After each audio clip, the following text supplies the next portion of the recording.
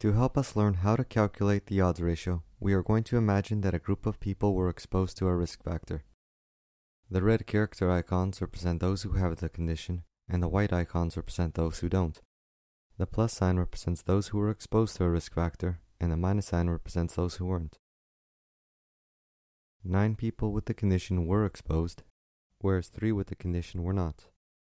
Four people without the condition were exposed, while 12 people without the condition weren't. Now we can calculate the odds ratio by dividing the odds of exposure amongst cases by the odds of exposure amongst controls.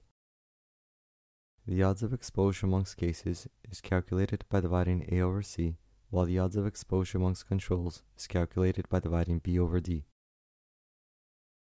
So by dividing 9 over 3 by 4 over 12, we find that the odds ratio is 9.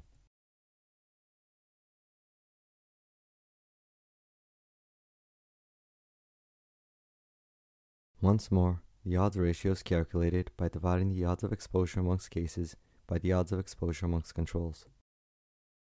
Alternatively, the odds ratio can be calculated by dividing the product of A times D by the product of C times B.